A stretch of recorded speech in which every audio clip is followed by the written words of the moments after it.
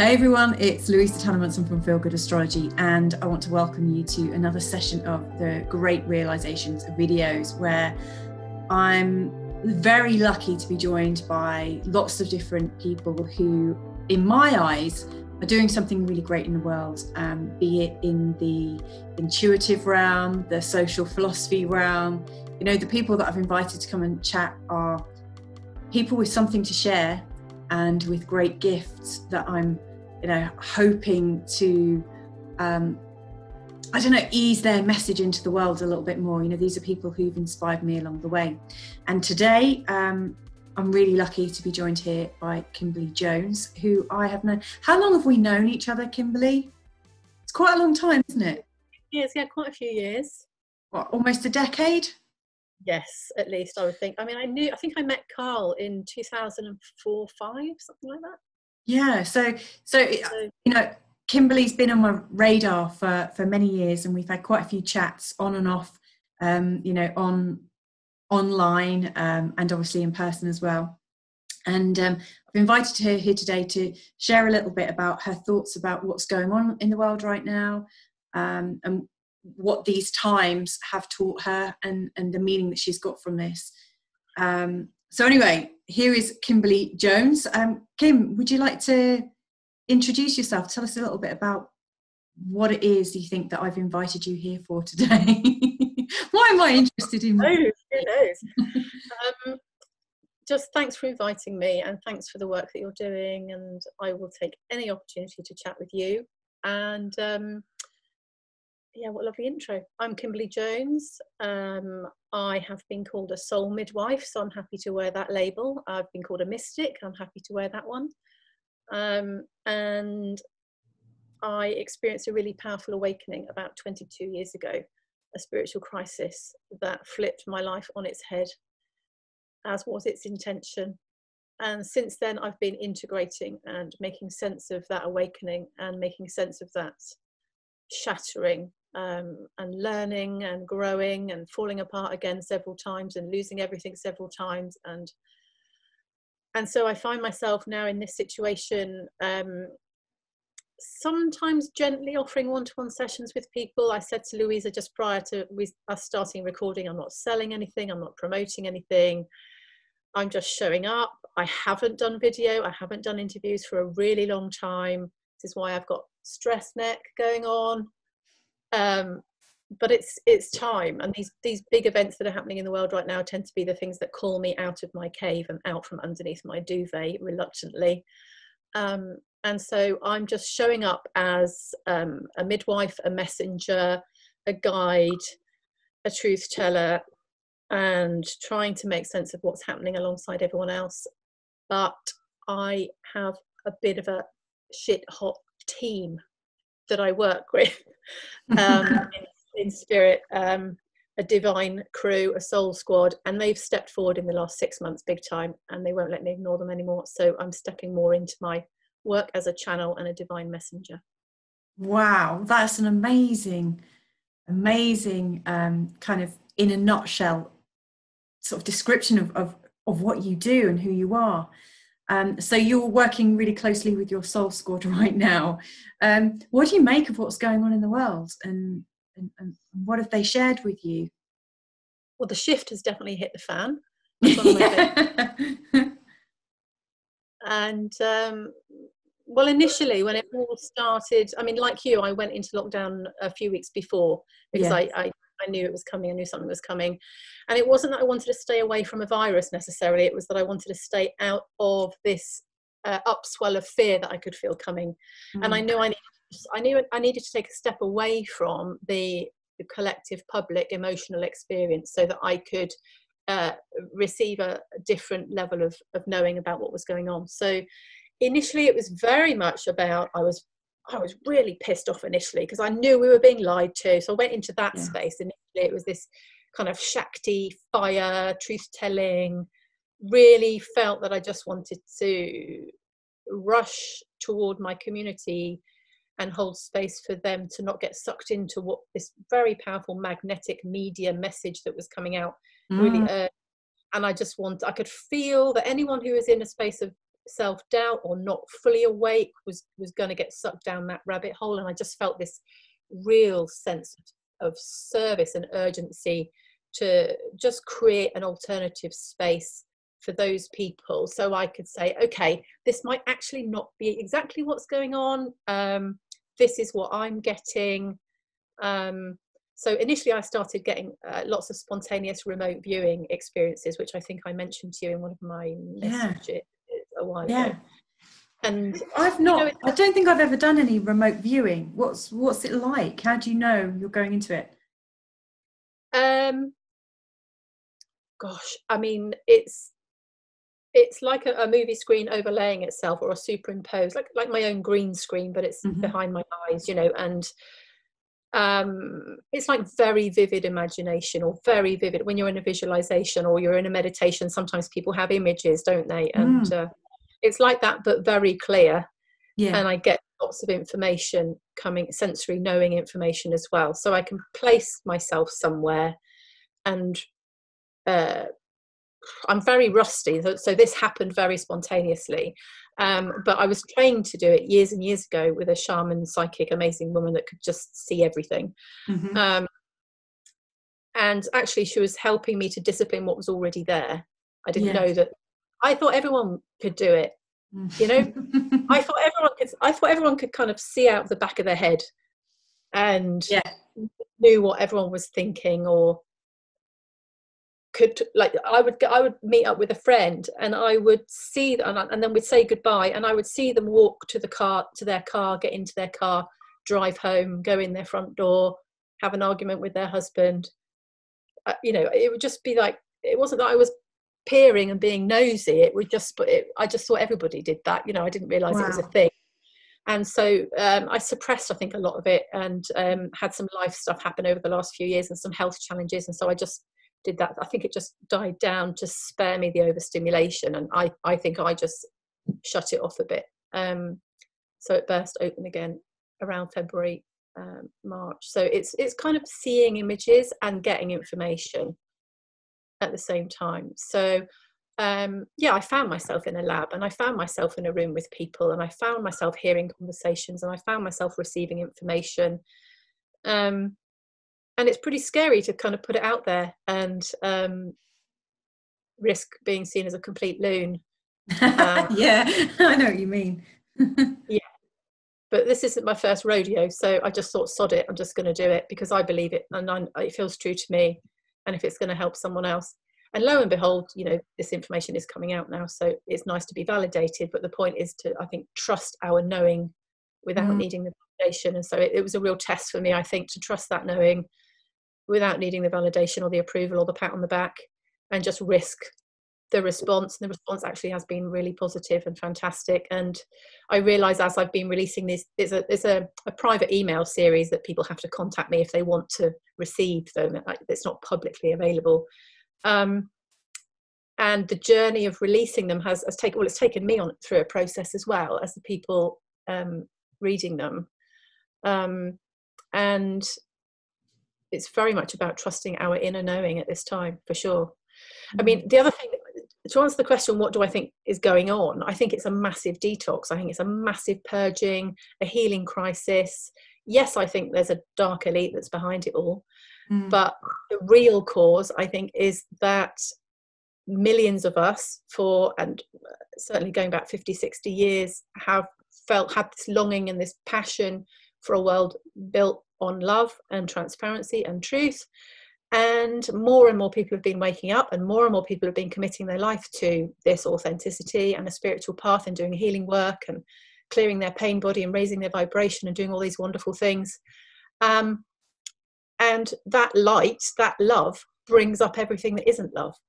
Yeah. We've created this wave of healing and transformation. It's kind of be careful what you ask for, you know. And yeah. th- this is the answer to a question that we forgot we asked. This is the response to a prayer that people forgot they sent up repeatedly. Yes. Every time they were agonizing over the state of the world or racism or lies or deceit or corruption, every time we stood for something more and something bigger and something truer, we were sending that vibe out there. And so, you know, we've burst the pimple basically.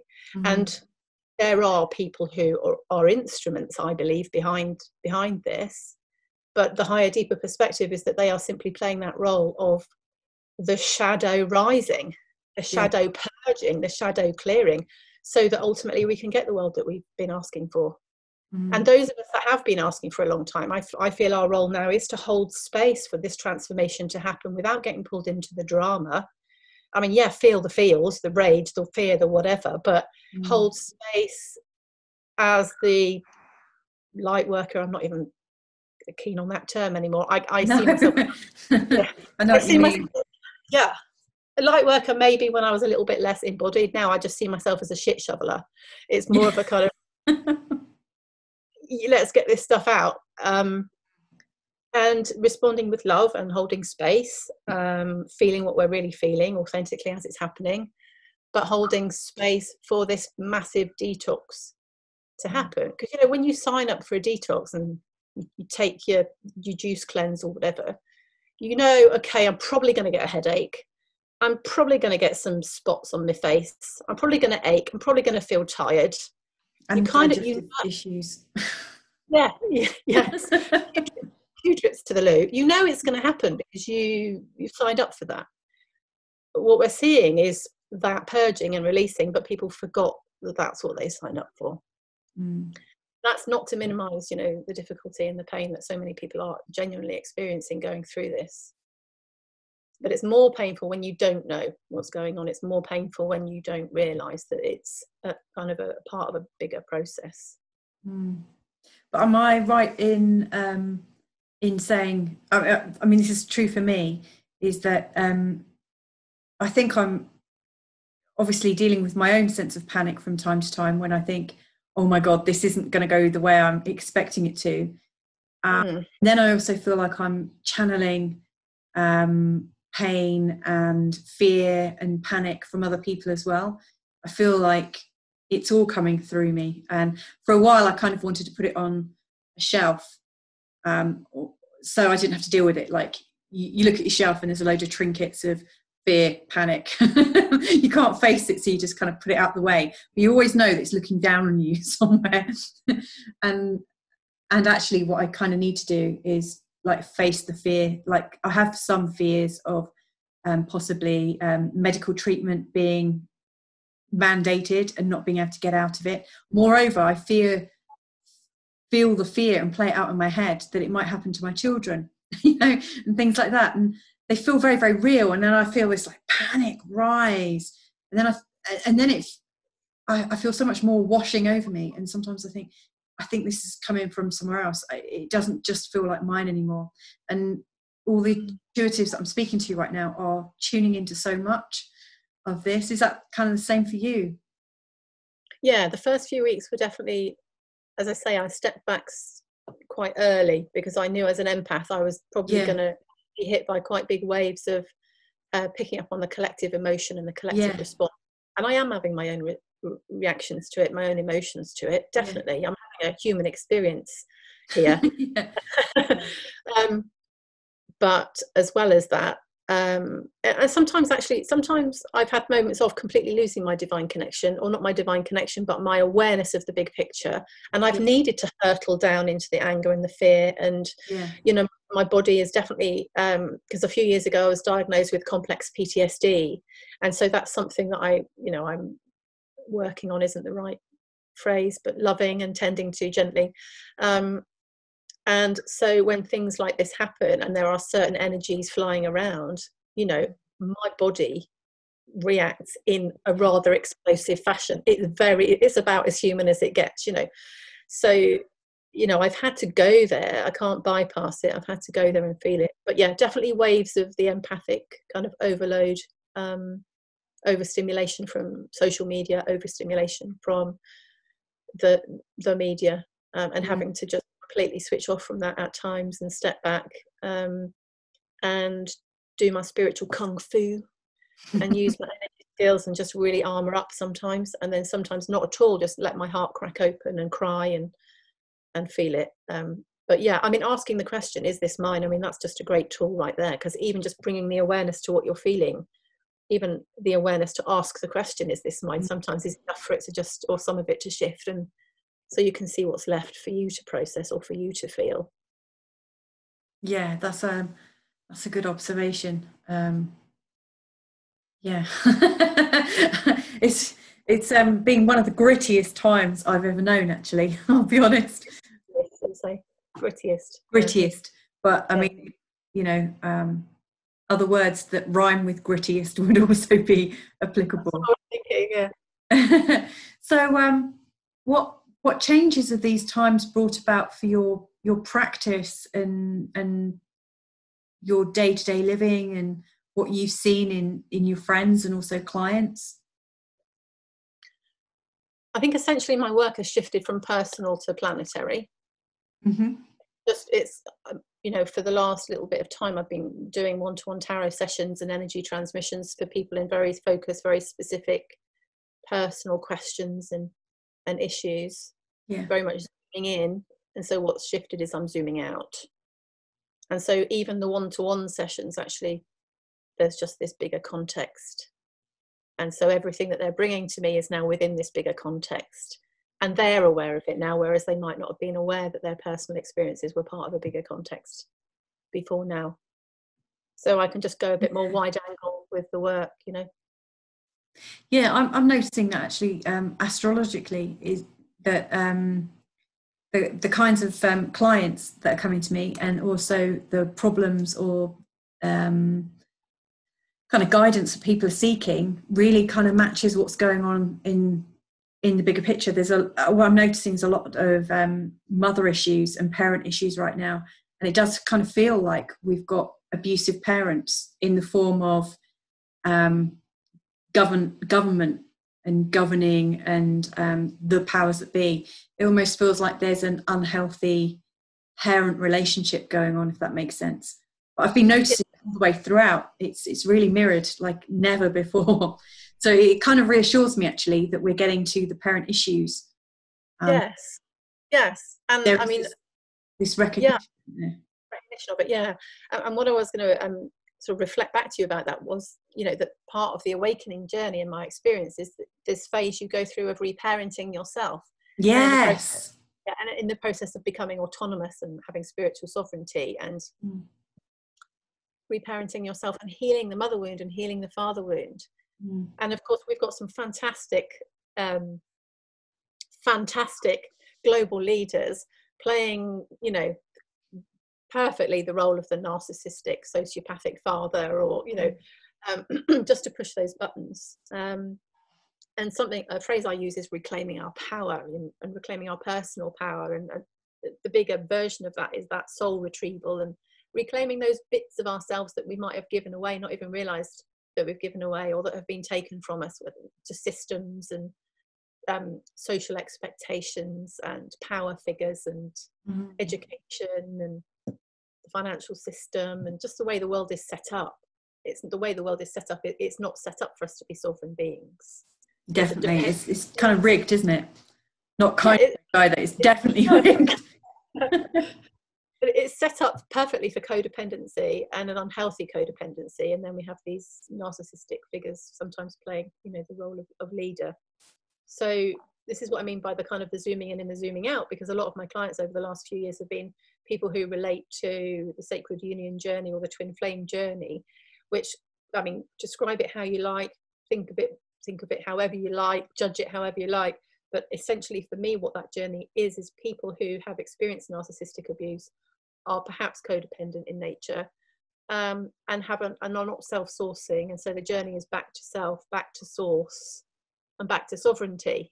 Mm. And so who have been on that path actually are pretty well set up to be able to see clearly what's going on and to not feel anymore that um, well not completely. I mean there are still a lot of people struggling but uh, and learning and growing but i'm noticing they're at a point now where they're going wow yeah six months ago actually if i hadn't done this codependency work and this reparenting work i can see how this that's happening would be so much more re-traumatizing and triggering. Mm.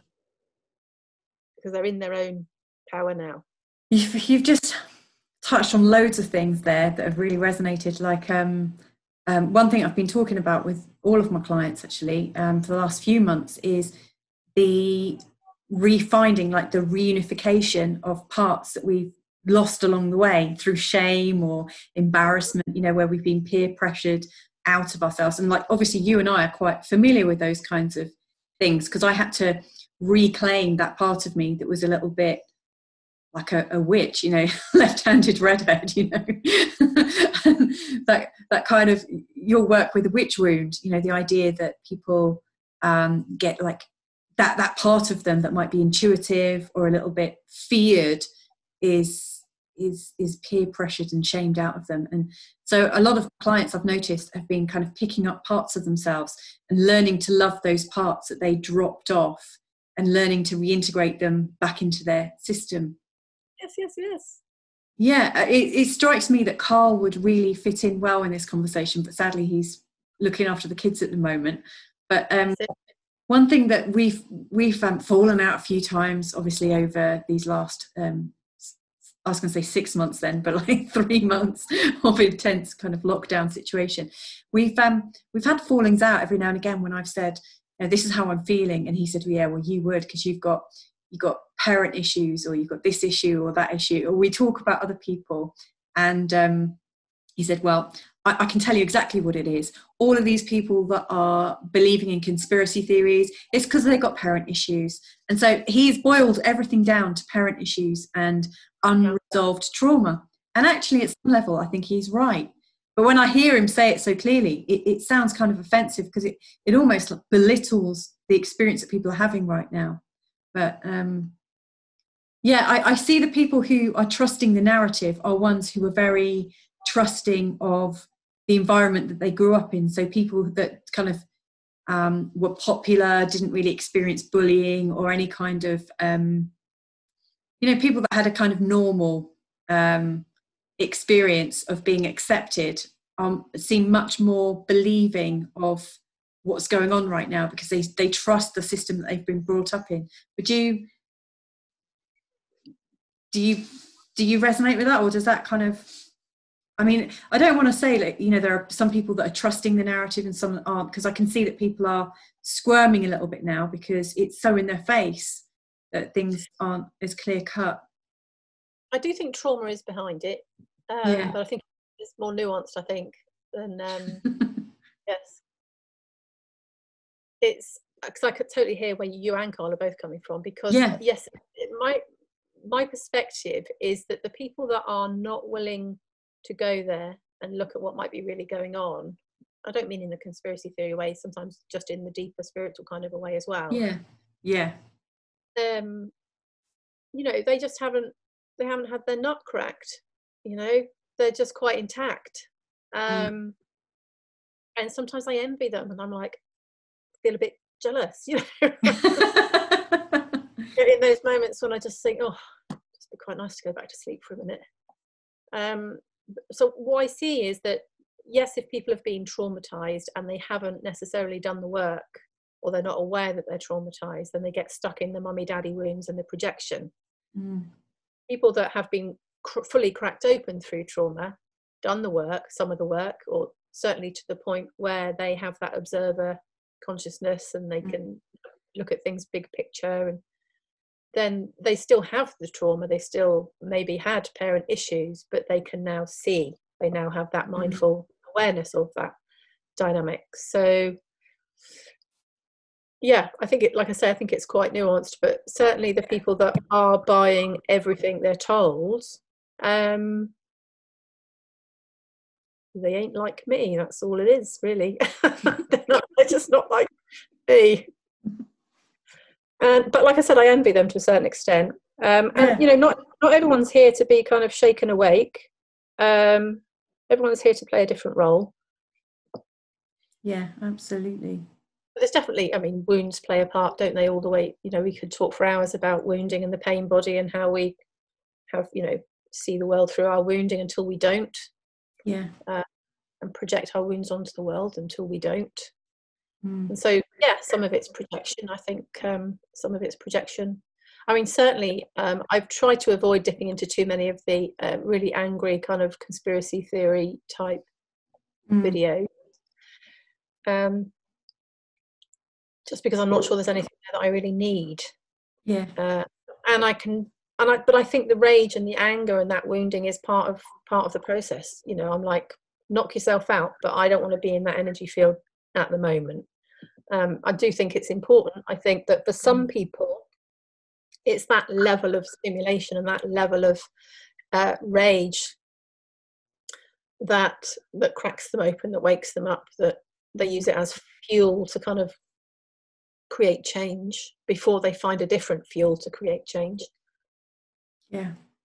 Mm. Yes, I can see that happening. Um. Definitely. Um, Cognitive dissonance is the phrase of the day. Yeah, I mean, I can. Mm, I mean, I can have conversations about things with. Um, this is what I mean about kung fu, being a bit kind of kung fu-y, because you know i'm talking with you or i'm talking with clients and there are, there's a certain way i can talk about this and then when i'm talking to maybe a neighbor or um, someone who is just an adorable muggle mm. um, it bounces off you know there are earmuffs is how i used to describe it foggy goggles and earmuffs mm. sometimes in the past i thought it was my job to crack those open and break those away wake people up in my arrogance and ignorance. Um, it's easy to now, go there though, isn't it? Because w- when you do kind of um, notice that there are some inconsistencies in life, and obviously we've been taught from an early age that actually everything is okay, there's nothing to see here. Um, when you do kind of notice for the first time that, um, you know, maybe we've been lied to, um, uh, uh, you know, the first thing you want to do is go and tell everyone, isn't it? Once you've got over the shock of it, you just want to tell people and and and see if people are, are with you or not you know um and that's normally when you find out that you're on your own uh, yeah and no, you have all this knowing and nobody really gives two hoops. They don't want to hear it. But yeah. i think that's that. And again that's i think i think carl alluded to it in his conversation with you about that evangelical phase that you can go through on the awakening yes. path or when you have a knowing or a realization or something that you're passionate about. Mm. especially when the stakes are so high you're like why is nobody listening? Yeah like the and, survival of people is pretty big isn't it? Yeah. And so yeah i've got that that bit of me that evangelical edna and ernest ernie as william bloom describes his as ernest ernie um, evangelical edna sometimes or egotistical edna yeah yeah, mm. recognize that character as well. I'd be lying if I pretended I didn't. Um, so, like, how have these times changed your your, your clients and when you've been talking to them, or, or their practices, and what differences have you noticed? I think the main insights come from the feedback to the emails, the lockdown diaries that I've been sharing, and that's people coming back and um, it's not as if they're learning anything new. I'm just sharing what I'm experiencing, sensing, um, what my team are sharing. And they're coming back feeling very validated. They're feeling like they can trust their inner knowing and their intuition more. They're feeling more autonomous. They're feeling all the feelings and the emotions, but finding it really helpful to know that there might be a, a deeper thing that's playing out on the planet here and um, yeah, I'm just seeing more people recognizing that they're more aware than they thought they were. Mm.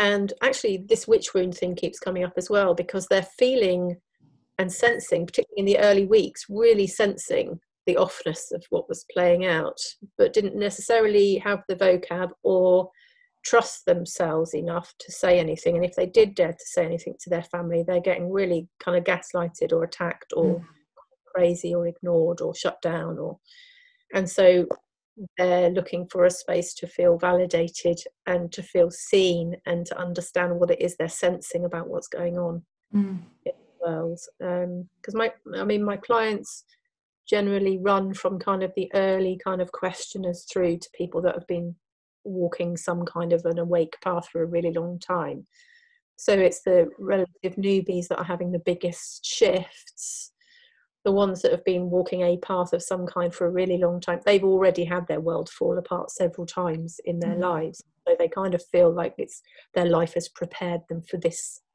heightened phase that we're in and so then what they're receiving is encouragement to step up maybe in more of a leadership role in their own lives with yes. what they already know. Yeah. It's funny because um, i've spoke in fact everyone i've spoken to um, in recording the series um, whether on screen or off screen they've all said this feels like the time i came here for. Um, yeah yeah. And you're right that's why you know carl and i kind of locked down before we locked down in portugal and, and we locked down in portugal before they did in, in the uk um, it wouldn't have surprised me if you and i actually went into lockdown at the same time but um, we felt it coming and we said this is the time we come you came yeah yeah i'm hearing that recognized it instantly. Um, yeah. see something was about to blow up and and i think um, it, it, feels to me like the emphasis of um, COVID has been changed to um, inciting anger and upset, you know, um, between people, like humanity in general.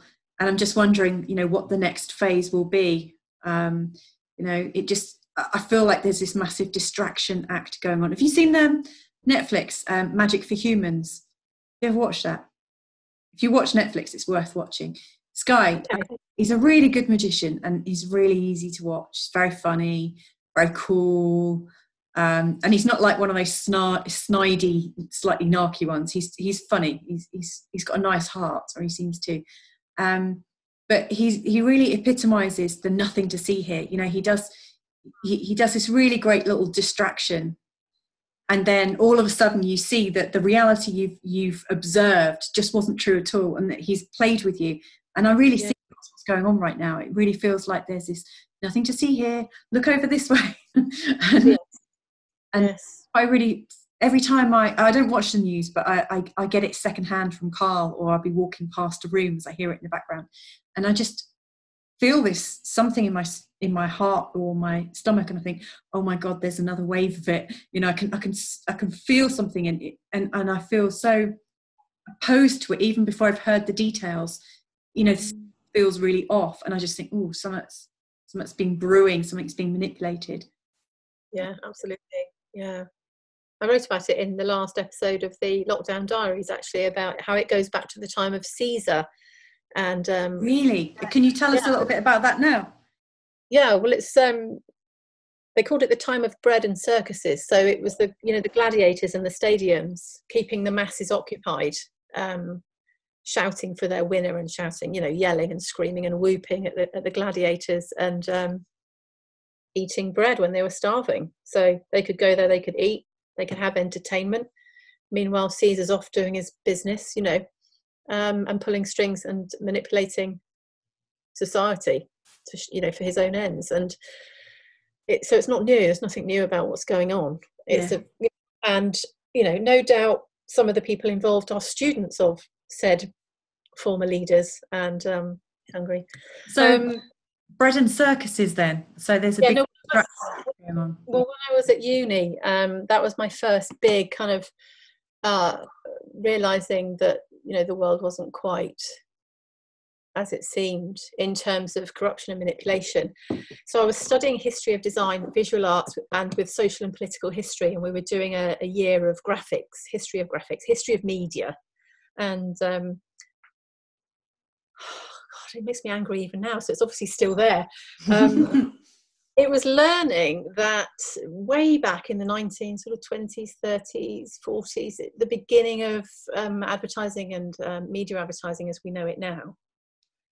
Um, and some of the very first ad agencies hired sigmund freud as a consultant right. with the specific purpose of understanding human impulse and human drives and the deepest of human vulnerabilities and insecurities so that the advertising agency could manipulate those uh, drives and insecurities specifically to sell products. I mean that seems like a no-brainer these days. We kind of know it's happening but but yeah. you know i mean 30 years ago i was so angry. You know i was grieving i was raging Um, and in the same year, we went to the Design Museum in London, and I learned about inbuilt obsolescence and that these, you know, oh, oh, that gets me raging.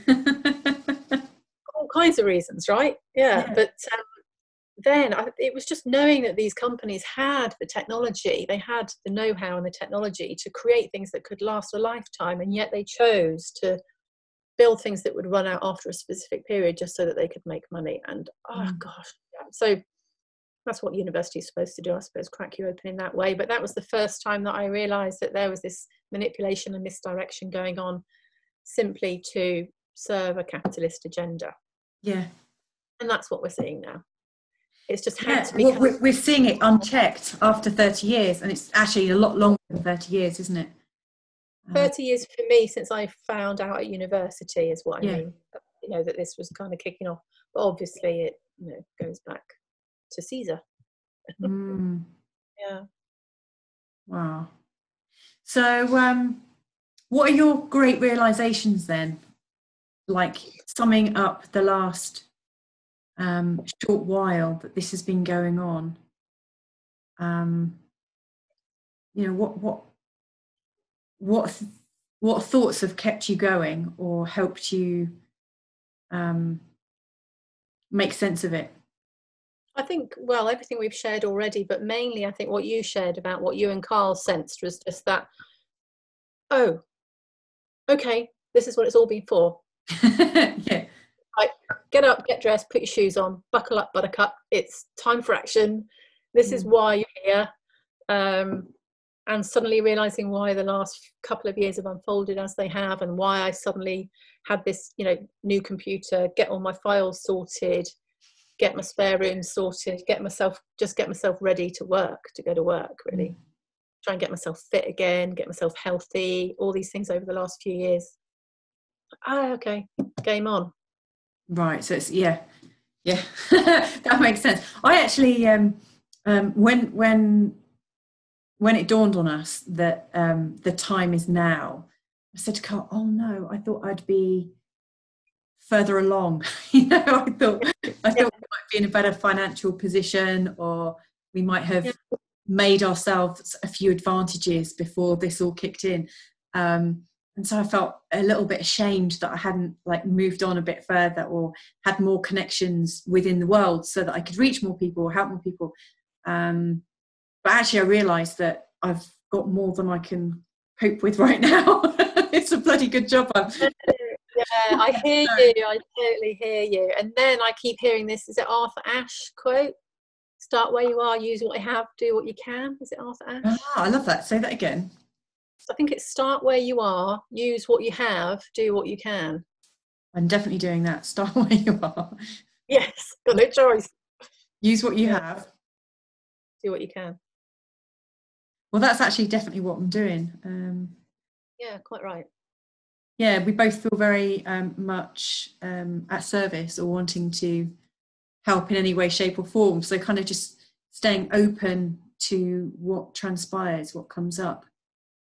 Yes, and of course, it's no mistake the two of you being together. You know, you have the cosmic and the communicator, and put the two together. It's very powerful. Yes. well, hopefully. yeah, I think I think it works quite well. Wow. So, um, can I ask you an extra question? Um, I'm kind of keen to to know what you think's like where you think we're going. Like, if you could put money on it, like if you're a betting person, what do you think's what do you think we can look forward to in this? Um, I'm going to use the term shit show, or you know, in this bread and circus. What do you think's about to happen? Well, I think at the moment we're, we're moving into a really dark phase of polarization. We're going to Yeah. see extremes and a stretching of the elastic band, which will eventually snap. Mm. So we're, I think I don't think we're at the fullest stretch yet. No, I don't either. see it, aren't we? Actually, the next lockdown diaries, I'm thinking about just going full force into the channeling of the future vision um, Mhm. because I've kind of saving it. And um, um, if I go far enough ahead, it's golden age vibes, and it's what a lot of us carry the blueprint of within us already. Um, and I'm prepared to plant seeds of trees I may never see grow. Um, and it may be beyond our lifetime. But I, my feeling is that this this is an uh, an acceleration, and so we may well in the next fifty years really start to see the golden age start to manifest, and the things that a lot of us just stand for and hold in our heart already as how we want to live start to get easier to do. Mm. I think there'll be a transition phase where it's harder to do, where um, you know the the ego death of the old patriarchal paradigm has its last death throes and clings on for its last semblance of power and so that you know trying to apply these um, controls whether it's mandatory vaccination or whatever but we're already seeing this is the thing that those people expressing the shadow that have perhaps been part of instigating what's going on weren't prepared, I don't think, for quite how many people on the planet are already very awake and just not taking any of it. And I think that's why we're seeing all this ducking and diving because they're like, blimey, people are a little bit more awake than we thought. They're more informed than we thought. They're more cohesive than we thought. They're more vocal than, you know. And you can have you can throw all the behavioural scientists in the world at what's going on, but ultimately that you know the human spirit will will prevail. And mm. this is why I think a lot of us are stepping back just through the rough patch um, and then there'll be a time when we need to really step forward and, and lead a little bit more in obvious uh, practical ways obviously initially within our local community and for that community that virtual community that we might already be connected with. Um, but yeah i've definitely had flash forwards and future visions of but it's been more of a sensory it's been more of a, a heart opening and feeling people walking around with their guard down and their hearts open and their, all their swords down and that that connection that so many of us long for and um, that source energy that uh, grounding of the light and um, cooperation and sense of family and just a really heightened sense of that christmas feeling and that when it snows feeling and um, that kind magic. of magic heart opening connection love. I mean it's essentially that's what we're growing towards is realizing that that's what we're here for and that's what we're made of. Um, and the extremes just make it possible for us to value that more, want that more, mm. stand for it more. So um, we may not see it in its entirety in our lifetime then. Who knows? I wasn't expecting this. Um, I mean, kind of was, but wasn't. I mean, I wasn't expecting it to be so. You know, I, I'm. I've been told that this is an acceleration of what was the original timeline. Mm. Uh, so who knows? I, I, do feel it's a big course correction, a divine intervention in some way.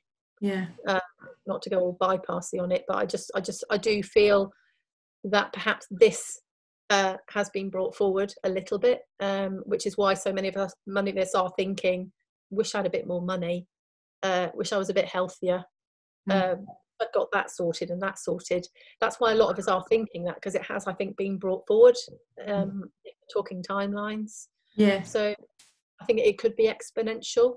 Um, I feel like I'm. I feel like I'm going to see it in this lifetime. I just don't think I'm going to see it necessarily in in its fullness. I think there'll be enough for us to kind of feel like, oh, finally, that's what yeah. I. That's what it's all and then well. what do you what do you see as the role of money do you get a, a sense of what because like one of the things that um sorry we've got um what looks like a refuse truck has just passed outside you know they come at like 10 o'clock at night around here.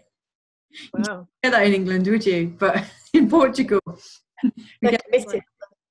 It's, it's crazy.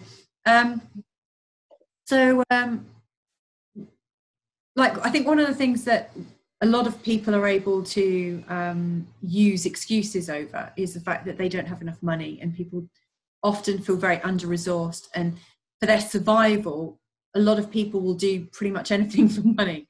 Um, and then along the way we learn actually where our limits are. Um, you know i've left jobs that i felt un, you know out of alignment with but I, my concern is if we are sorry about the noise if um if we are um, impoverished more than we already are and to really really bad times then I think uh, my worry is that our behaviour is going to get worse and worse because people's reaction to survival is going to be really peaked.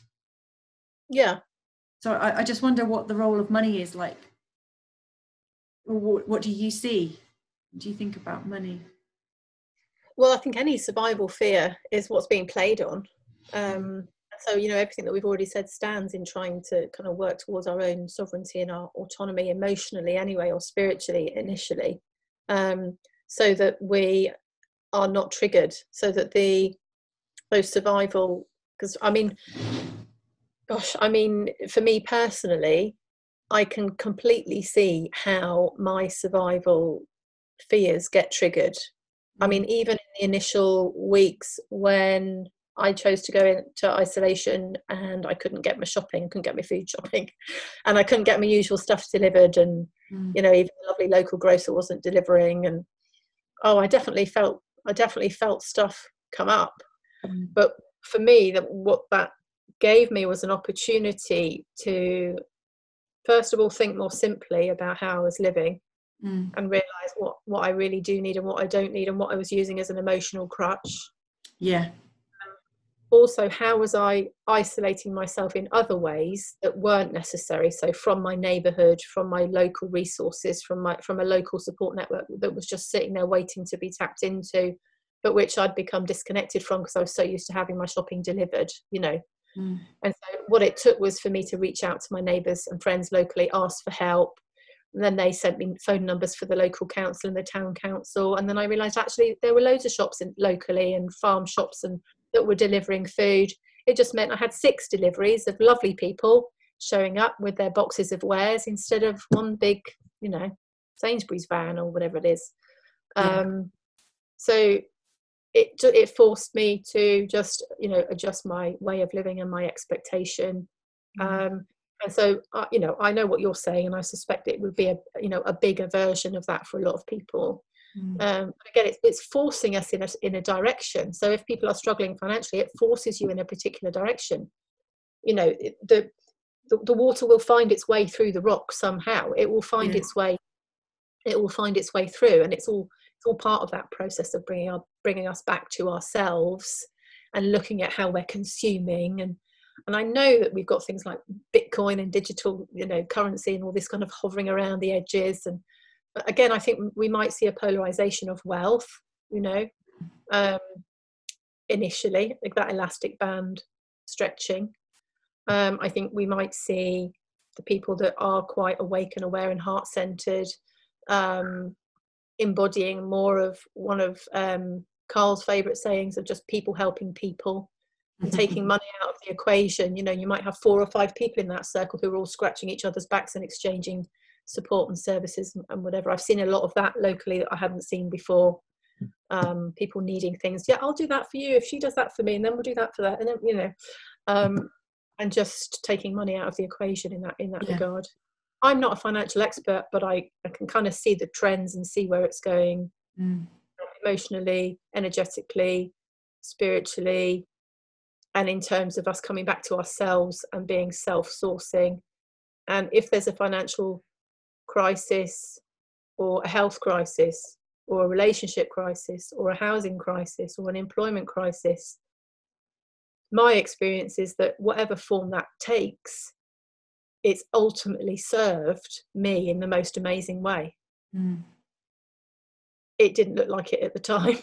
Yeah of course hindsight never you know we never get the hindsight the benefit of hindsight straight away do we? We have to kind of go through our transformation first yeah. We can say yeah. oh that's the reason why that relationship or whatever that situation was didn't work out. Yes and for me i've had financial struggle to teach me to ask for help. Mm. teach me to not cut myself off from people in that in that way. Yeah. Um, and also to understand for me personally that um, finances flow for me when i'm more grounded and connected to the earth literally, you know, might be getting out in nature and gardening, growing mm. stuff. And I'm connected to divine source. So the other thing I wanted to share was that that's on a spiritual level. I feel that that's what's going on is that we're shifting from this horizontal dependence on outside resources to feel whole, mm. to more of this connecting to earth, connecting to source, connecting to heart, connecting to soul, and then connecting to each other from from that place. So so many of us have defined our value and our worth on the stuff that we can get hold of and the stuff that we can surround ourselves with. And so, you know, if there is a higher power behind all of this that wants to show us how magnificent and amazing and abundant we are, standing naked in a field with nothing, we are enough. If we are to be shown that, what better way than to strip away all the things that we've been dependent on to fill that void mm. and steer us in the direction of plugging back into source, reconnecting to ourselves, the earth, and each other in a meaningful way. And then perhaps the abundance starts to flow again, but not while we're clinging onto it. Yeah. yeah. Um, wow. Would you like to come and talk to me another time about this? Maybe in one month's time when we can go, oh my God, I can't believe what's just happened. yeah, let's do that. Yeah, let's do that. Let's check in again later. Yeah, see what's unfolding. Well, um, if somebody wants to reach out to you um, or to work with you or just to say hi or, you know, say you're gorgeous or whatever, you know, if someone wanted to reach you, Kim, Kimberley, how can they reach you? What's the best way? KimberleyJones.co.uk. Perfect. KimberleyJones.co.uk. Well, L E Y at the end of Kimberley. Yeah, I, I, will post it. You know, when when I um, post this video, I will um, absolutely post it. So um, I would absolutely love to thank you so much for your time today. Really, it, it we should catch up a lot more often than we do. It's nice to see you, you know, rather than us like type messages to each other. It's really, really nice to see you again. Um, yeah, thank you. Thank you. Um, um, I'd just like to thank anyone who has listened in um, today. Um, if you've got any questions for us, um, you can reach Kimberley um, at kimberleyjones.co.uk or you can reach me. It's Louisa at feelgoodastrology.com. Um, yeah, stay connected. Um, if you've liked this video, then please feel free to um, subscribe, hit the notification bell, and all that kind of malarkey. Anyway, um, oh, I've got to say goodbye and, and, go and do some stuff. But Kimberley, it's been an absolute pleasure. It's been magnificent. Thank you so much for your time today. Thank you, my lovely. Thank you so much.